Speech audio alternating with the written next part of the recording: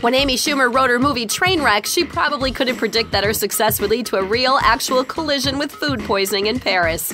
The comedian was on a quote romantic trip with her boyfriend Ben Hanisch in France that was immediately disrupted by what can only be described as violent food poisoning.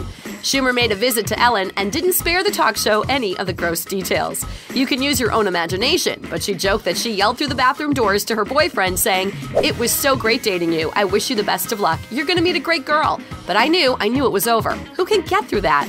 Luckily for Schumer, her boyfriend was suffering from the same situation and perhaps had some noise canceling headphones. Thankfully, the most non romantic trip to Paris ever didn't end their relationship, and now Schumer has more comedic material to tell on stage.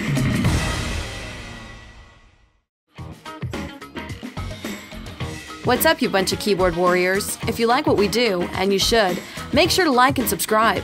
It keeps us from having to turn tricks on Hollywood Boulevard.